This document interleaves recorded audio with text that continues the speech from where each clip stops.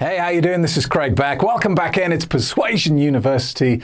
Today we're talking about the law of social proof. It's another old but tried and tested technique.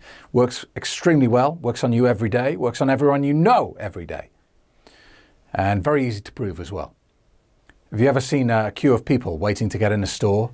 Doesn't it make you intrigued? And you're like, what's going on there? What are they queue? What's so good that they're willing to queue for it?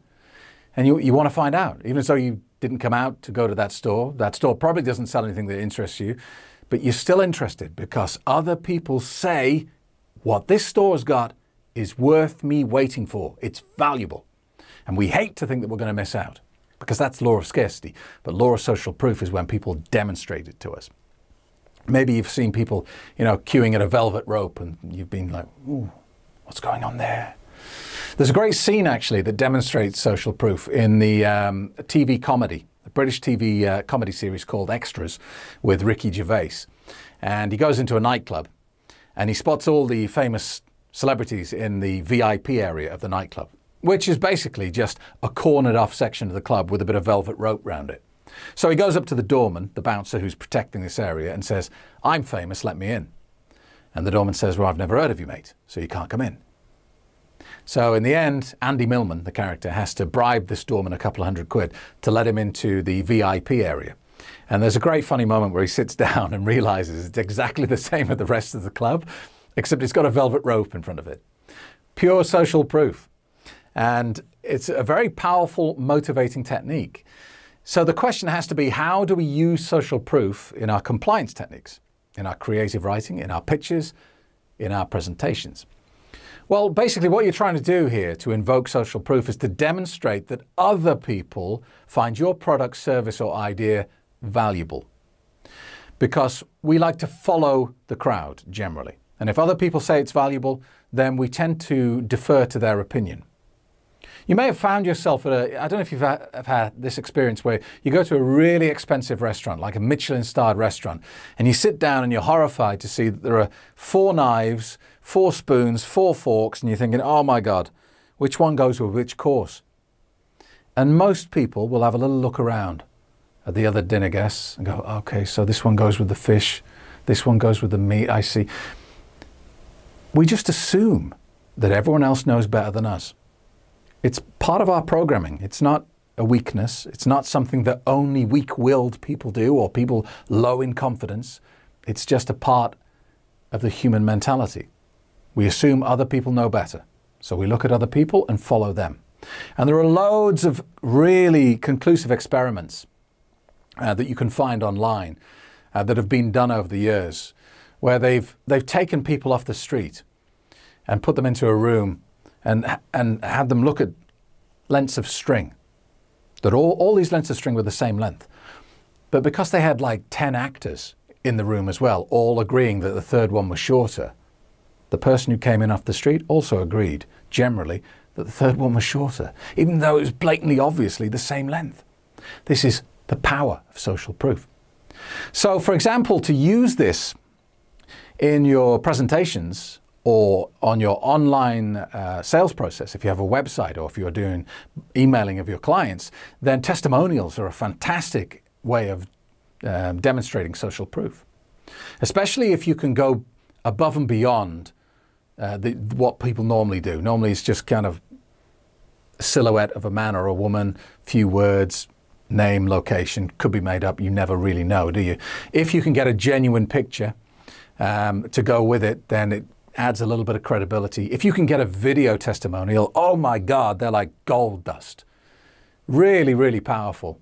I have a problem in this, you see, because I run a website called stopdrinkingexpert.com and it's helped thousands of people to stop drinking. And it works so well because it's based on what I went through to deal with my own drinking. And maybe 50,000 people have now quit with my help.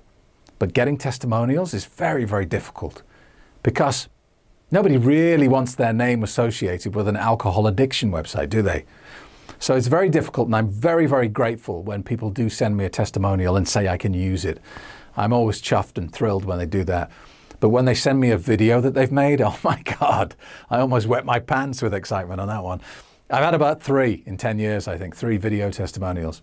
For someone to put their face, voice, and image, you know, towards this product uh, is just incredible. Um, but it's very, very powerful. You know, if you can put a video testimonial on your website, there can be no doubt that this is a real person who's really tried it and really had success. Super powerful. So try and get testimonials into your pitches and presentations and on your website as much as possible because they have untold value. Now, let's skip back to the previous lesson. We were talking about the law of scarcity. And I told you in that video that in this one, I will tell you that if you combine the law of scarcity with another tool, it creates dynamite. Persuasion dynamite. And it is the law of social proof. If you can combine the law of scarcity with the law of social proof, you create something that I would put as close to being irresistible as possible.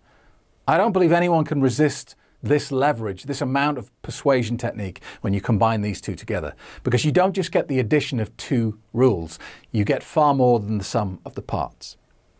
Now, I discovered this through a very painful process. I'll tell you about it now. It's, we're going back quite a few years now, and I was uh, I was dating a woman, and I was mad into her. I was head over heels in love with her. I mean, ridiculously, embarrassingly in love with her. Um, apparently, she didn't feel the same because she had that conversation with me. You know, we need to talk. Oh no, no, no. Why? No, no, not talking. So she sat me down and she gave me the old, yeah, it's not you, it's me business. And I thought, yeah, yeah, yeah, whatever. Anyway, so she dumped me. I know, right? How could she? And my friends came around and they gave me the old, you know, oh, there's plenty more fish in the sea business. It's her loss. And I'm thinking, yeah, yeah, but I don't want to fish. I want her, only her. You know how it feels when someone dumps you like that? You don't want to go dating. You don't want anyone else. You just want the thing that's been restricted from you. Law of scarcity. Anyway, skip forward two, three weeks. I'm, I'm kind of getting over it now. I'm moving on with my life. And uh, I go out shopping. I'm in the mall. And what do I see? I see my ex happy, laughing, holding hands with another guy, occasionally stopping for a bit of a kiss. It's like the most painful thing that you can ever experience. You've got the law of scarcity. We all want what we can't have. So this is restricted to me and I'm not allowed it. So that's already kicking me. And now the law of social proof. She's demonstrating to me that she is of value. This guy who she's with, she, he sees great value in this woman. So now I've got the combination of the law of scarcity and the law of social proof at the same time, and the effect is devastating. So if you can combine scarcity and social proof, i.e., this is hard to get hold of, or this is in limited supply, and everyone wants it, wow, you're in a very powerful persuasion situation there. Okay, let's leave the video there for today. As usual, listen to the audio track as homework. I will see you back here tomorrow for the next part of Persuasion University. Thanks for watching.